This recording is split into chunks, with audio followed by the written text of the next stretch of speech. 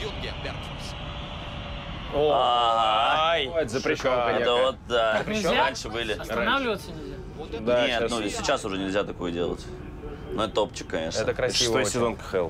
А как нельзя делать? Смотри. Останавливаться или что? Ну, Вот типа, он сейчас поехал. И вот этот разворот нельзя делать, шайба не должна назад двигаться, э, движение По новым делать. правилам. Но он, кстати, еще хорошо сделал. Некоторые-то вообще назад делали. Он так Да, да, да.